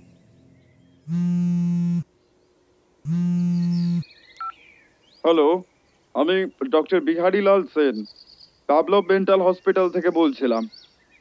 অরিত্র তড়ি ঘড়ি ফোনটা শুভকে দেয়। কি কথা হলো তা অরিত্র জানতে পারেনি। কিন্তু ফোনটা রাখা মাত্রই। শুভ বলে। ইমিডিয়েটলি ফোর্স রেডি করো। মিত্র বাড়ি যেতে হবে এক্ষুনি। সন্ধিক্ষণ আর বেশি দেরি নেই। ওকে স্যার আর বলছিলাম যে বাড়িটার চারদিকে নজর রাখার জন্য লোক ছড়িয়ে রেখেছি। কিন্তু সন্দেহ করার মতো তো ওরা এখনও কিছু পায়নি। বলি তো বাড়ির দালানে করা সম্ভব নয়। গ্রামে জঙ্গলে কোনো বাচ্চা মিসিং বা আড়ালে বলির আয়োজন কিছুই চোখে পড়েনি। আর পড়বেও না। কারণ বলিটা আজ ঠাকুর দালানে করার পরিকল্পনা হয়েছে। আটকাতেই হবে অরিত্র যে করেই হোক। ফোর্স নিয়ে সদল বলে জঙ্গলে রাস্তা ধরে বেরিয়ে পড়ল তারা। কিছুটা যাওয়ার পর হঠাৎ শুভ বলল গাড়িটা সাইড কর অরিত্র বাকি গাড়িগুলো এই রাস্তা দিয়ে যাক আমরা অন্য রাস্তা ধরবো। হ্যাঁ স্যার সে না হয় আমি ওই রাস্তা দিয়ে নিয়ে যাচ্ছি। কিন্তু জঙ্গলের রাস্তা দিয়ে তো তাড়াতাড়ি হতো। শুভ কোনো উত্তর দিল না। গাড়িটা সাইড করতেই সে নেমে এসে বলে অরিত্র তুমি পাশে বসো আমি ড্রাইভ করব। অরিত্র আর কোনো প্রশ্ন করেনি। স্টিয়ারিং হাতে পাওয়ার পর ঝড়ের গতিতে গাড়ি চালিয়ে মিত্র বাড়ির বাইরে এসে তারা দাঁড়াল। এ কি এখনও ফোর্স আসেনি? জঙ্গলের রাস্তা ধরলে তো এতক্ষণে চলে আসার কথা। ঠিক যে ভয়টা পেয়েছিলাম। শুভর কথাটা শেষ হওয়ার আগে ওর ফোনটা বেজে উঠল। ধরা মাত্রই ওপাশ থেকে একটা বিধ্বস্ত গলা ভেসে এলো। স্যার জঙ্গলে জঙ্গলে ল্যান্ডমাইন রাখা ছিল স্যার। আমাদের আমাদের প্রত্যেকটা গাড়ি ব্লাস্ট করেছে। আমাদের বাঁচান স্যার বাঁচান। ফোনটা রাখা মাত্রই। অরিত্র হাসপাতালে যোগাযোগ করে ফোর্সকে উদ্ধার করার ব্যবস্থা করে। স্যার আমাদের দুজনের যাওয়াটা কি ঠিক হবে? না মানে যারা পুলিশকে আটকানোর জন্য ল্যান্ডমাইন বিছিয়ে রাখে তাদের একাতে সামলানো পসিবল গাড়ি থেকে নেমে বলে ওঠে অরিত্র। তুমি কি বলছো? এখন তুমি বাফার ফোর্স ডাকবে। তারপর আমরা ঘরে ঢুকে বলি আটকাবো হ্যাঁ? অরিত্র উত্তর দেয় না। চুপ করে শুনে যায়। এর মধ্যেই শুভ বন্দুক হাতে একটু একটু করে জমিদার বাড়ির পিছনের দরজার কাছে পৌঁছে গিয়েছে। ইশারায় কিছু একটা বোঝানোর আগেই অরিত্র অন্য কিছু না ভেবে সেই পথই নেয়। ভিতর থেকে ঢাকের আওয়াজ ভেসে আসছে। ধুনোর গন্ধ বাতাস আমোদিত করে রেখেছে।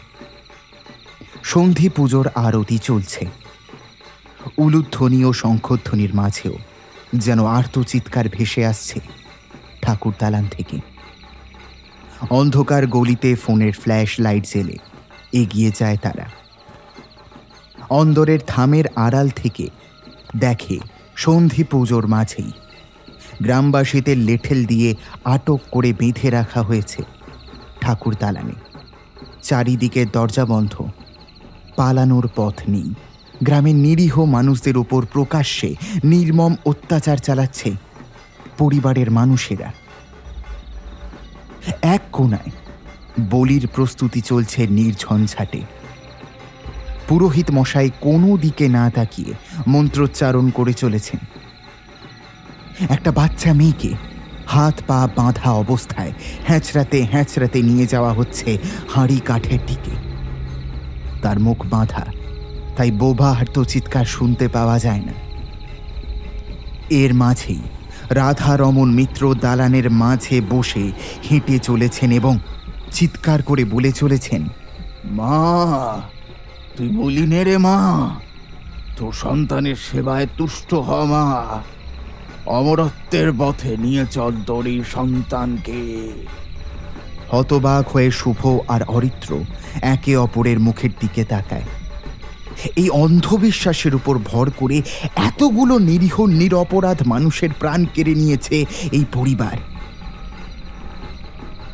বেশ, তবে আজ দিনটা তাদের। ইতিমধ্যেই বাচ্চা মেয়েটিকে এনে হাঁড়ি কাঠে আটকে দেওয়া হয়েছে। হাত পা বাঁধা অবস্থাতেই সে ছটফটিয়ে বাঁচার শেষ চেষ্টা করে চলেছে। ওইদিকে কাত্তান হাতে কামার বলি দেওয়ার জন্য এগিয়ে আসছে। বাইরে এর মধ্যেই বাজি পোড়ানো শুরু হয়েছে। বাজাও ঢাক। চিৎকার করে বলে ওঠেন রাধা রমন মিত্র। ঢাক উলুধ্বনি মন্ত্রোচ্চারণের মাঝেই অন্ধকার থেকে ধুনোর ধোয়ার আচ্ছাদন ভেদ করে দুজন যোদ্ধা এগিয়ে আসছে। তাদের হাতে অস্ত্র। আজ তাদের পরীক্ষার দিন। সাহস আর শক্তির সমন্বয় যা হতে চলেছে তা স্বয়ং ভগবানেরও অজানা। শুভ অরিত্রর মুখের দিকে তাকিয়ে চোখ বুঝে এক মনে বলে या देवी सर्वभूतेषु खन्ति रूपेण संस्थिता नमस्तस्वै नमस्तस्वै नमस्तस्वै नमो नमः নিমেষের মধ্যে দুজন পকেট থেকে টিয়ার গ্যাসের ক্যানিস্টার ছুঁড়ে দেয় দালানে এবং তারপর পরই তিন চারটে ব্ল্যাঙ্ক ফায়ার মাটিতে পড়া মাত্রই ক্যানিস্টারগুলো ফেটে চারিদিকে ধোঁয়াশা করে তুলল ক্যানিস্টার ফাটার শব্দে মানুষজন ভয়ে যে যেদিকে পেরেছে প্রাণ বাঁচাতে ছুটে পালিয়েছে। পুজো থামেনি কিন্তু। রাধা রমন মিত্র এই প্রথম একটা আঘাত পেল এটা তার পরিকল্পনার বাইরে ছিল। বলি হওয়ার আগে সেই শব্দে কামার কাত্তান ফেলে রেখে দৌড় দিল। লেঠেল ক্যানিস্টারের উৎস বুঝে তেরে এলো ঠিকই। কিন্তু এক একজনের হাত পা ভেঙে ফেলে রেখে দিয়েছে ওরা দুজন। ওই ধোঁয়ার মধ্যেই সপাটে শত্রুপক্ষের বেহাল অবস্থা করে ছেড়েছিল ওরা। বাচ্চা মেয়েটির প্রাণ বাঁচে। কিছুক্ষণের মধ্যেই বাফার ফোর্স এসে বাকিদের অ্যারেস্ট করে। আর সব কিছুর মাথা তিনি পালানোর চেষ্টা করেছিলেন, কিন্তু পড়লেন শুভর চোখে। সজোরে বুকের বাঁ পাশে একটা লাথি বসিয়ে দিয়েছিল সে। বোধহয় ছিটকে মায়ের পায়ের সামনে পড়ার সময়। কিছুক্ষণের জন্য তার হৃদযন্ত্র বিকল হয়েছিল। তাই থানায় আনার বেশ কিছুক্ষণ পর তার জ্ঞান ফেরে। রাধারমন বাবুকে থানায় ধরে নিয়ে এসে সমস্ত এভিডেন্স সাজাতে কখন যে নবমীর দিনটা কেটে দশমীর দুপুর হয়ে গিয়েছিল, তা অরিত্র বা শুভ কেউই টের পায়নি। অবশেষে কাজ শেষ হওয়ার পর অরিত্র বলল হা তাহলে অসুর বধের পালা সাঙ্গ হলো। শুভ লকাপের ভিতর গোমরাতে থাকা রাধা রমন বাবুর দিকে তাকায়। অসুর বধের প্রস্তুতির পালা সাঙ্গ হয়েছে অরিত্র। অসুর মানুষের মনে থাকে চিন্তাধারায় বিরাজ করে। সবার আগে তাকে পাল্টাতে হবে। ওনার যাই বিচার হোক না কেন আর একটা আলোকলতা বা কাবেরি যেন এই পরিস্থিতিতে না পড়ে সেটা সবার আগে আমাদের দেখা দরকার। শুধুমাত্র অমরত্ব লাভ করবে বলে এত বছর ধরে প্রতি পুজোতে একটা করে বাচ্চাকে বলি দিত। ভাবলেই গা শিউরে উঠছে। মানুষ এতটা নৃশংস হতে পারে? শুধু বলিতেই থেমে থাকেননি। আলোকলতার সদ্য সদ্যজাতের আয়া কাবেরী দেবী তাকেও মোলেস্ট করেছেন। এটা যদিও প্রথম দিকে। তবে রাধারমন বাবু ভুলে গিয়েছিলেন। যে কাবেরী দেবীও তার নাতির দায়িত্ব তুলে নেওয়ার ঠিক এক মাস আগেই সন্তান প্রসব করেছিলেন। তার রেশ কাটার আগেই উনি শারীরিকভাবে কাবেরী দেবীকে নির্যাতন করার চেষ্টা করেছিলেন, যার ফল হলো পোস্টমর্টেম সাইকোসিস। কাবেরী দেবী এখন কলকাতায় যে মানসিক হাসপাতালে রয়েছেন, সেখানকারই একজন ডাক্তারবাবু জানালেন সবটা। হ্যালুসিনেশন, প্যারানোইয়া আর বাইপোলার ডিসঅর্ডার, তিনটে একসাথে চেপে ধরল কাবেরী দেবীর মনস্তত্ত্বকে। এবং উনি সেই ঘোরেই গলা টিপে মেরে ফেললেন সেই শিশুটিকে যাকে তার হাতে ভরসা করে বাড়ির লোক তুলে দিয়েছিল। অরিত্র একটা লম্বা শ্বাস ছাড়ে। আর তাই বোধহয় আলোকলতা দেবী আত্মহত্যার পথ বেছে নেন। না বাড়ির লোকেদের জেরা করা হলে সঠিকভাবে সব জানা যাবে। যে আলোকলতা দেবী কাবেরীর ওপর শারীরিকভাবে নির্যাতনের কথাটা জানতে পেরেছিলেন। তাই প্রথমে অত্যাচার চালিয়ে মুখ বন্ধ করানোর চেষ্টা হয়। অবশেষে যখন কিছুতেই কোনো লাভ হয়নি তখন বাধ্য হয়ে ঠাকুর দালানের ঝাড়বাতির সাথে ঝুলিয়ে দেওয়া হয়। পৈশাচিক। তাই জন্যই পোস্টমর্টেম রিপোর্টে শরীরের গোপনাঙ্গের ক্ষতর উল্লেখ রয়েছে। অ্যাবসলিউটলি অরিত্র। ভীষণ পৈশাচিক। আর ওই সুইসাইড নোট ওটায় তো বলা ছিল আলোকলতা সন্তান শোকে আত্মহত্যা করেছে। ওটার কি হলো? আসলটা আলোকলতা লেখেনি। ওটা বাড়িরই কারোর প্লান্ট করা এভিডেন্স আমি দেখেই বুঝেছিলাম। কিন্তু ব্যাপার হচ্ছে, যিনি ওই সুইসাইড নোট লিখেছেন, তিনি ছাড়া আর কেউই জানতেন না যে আসলে কি লেখা ছিল ওই চিঠির মধ্যে। যেহেতু লোকাল থানা তল্লাশি করতে গিয়ে ওই চিঠি খুঁজে পায়। আমি সতীশবাবুর প্রতিক্রিয়াটা লক্ষ্য করেছিলাম সেদিন। চিঠিতে যে আসলে কি লেখা আছে, উনি তা জানতেন, কারণ সেটা উনিই লিখেছিলেন। আমি ঠিক সেই সুযোগটার অপেক্ষাতেই ছিলাম, কখন এই ফাঁদে পা দেয়। অরিত্র একটা লম্বা শ্বাস ছাড়ে। তারপর শুভ বলে এবার এনাদের বিচারের পালা। তবে আজ থাক পুজোটা কাজের মধ্যেই কেটেছে। আজ তুমি বাড়ি যাও আমিও ফিরি। ওদিকে শারদিয়ার সাথে শেষ দুদিন ভালো করে কথা পর্যন্ত হয়নি। এর কিছুক্ষণ পরেই শুভ বাংলোতে ফিরে আসে। প্রথম থেকে সব কিছু বলে শারদিয়াকে। সব শুনে সে বলে পোস্টমর্টম সাইকোসিসের রেশ এত সহজে কিন্তু কাটে না। তারপর একটা বাচ্চাকে হত্যা করার ক্লানি। সারাটা জীবন ট্রিটমেন্টে থাকতে হবে। তবে যদি শুভ কিছু বলতে চায় কিন্তু পারে না। তার আগে শারদিয়া বলে। সবাই জীবনে দ্বিতীয়বার ঘুরে দাঁড়ানোর সুযোগ পায় না। সবার জীবনে ভগবান একটা শুভদীপকে পাঠান না। আমি হয়তো আগের জন্মে কোনো ভালো কাজ করেছিলাম। নয়তো তোমাকে আমার করে পাবো। এই কথা আমার ভাবতে সাহসী হয় না। যে মেয়েটার অতীতটা শুধু শারীরিক নির্যাতন আর মানসিক আঘাতের মধ্য দিয়ে গিয়েছে, তার আজ বেঁচে থাকার কথাই নয়। সেদিন তুমি যদি না আসতে, তাহলেই শারদিয়ার আর বাকিটা বলার আগেই তার ঠোঁটে হাত রেখে চুপ করিয়ে দেয় শুভ। শারদিয়ার দু চোখ বেয়ে জল নেমেছে। বেশ কিছুক্ষণ সে শুভকে বুকে চাপটে ধরে কাঁদল।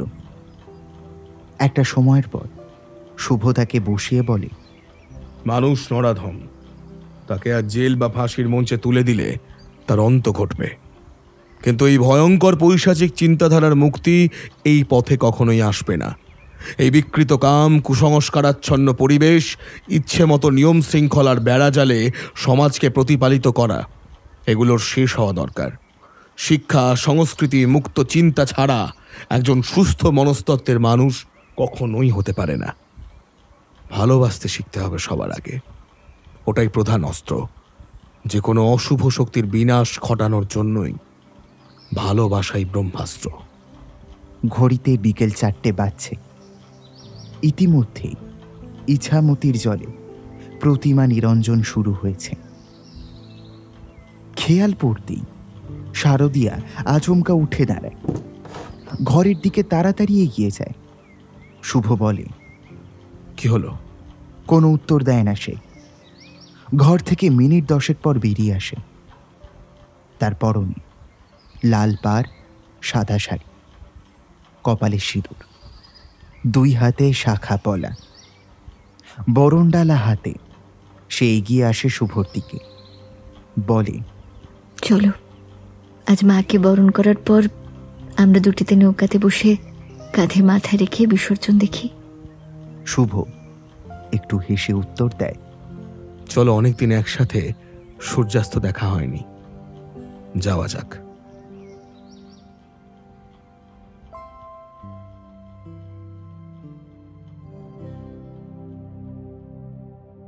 শুনছিলে?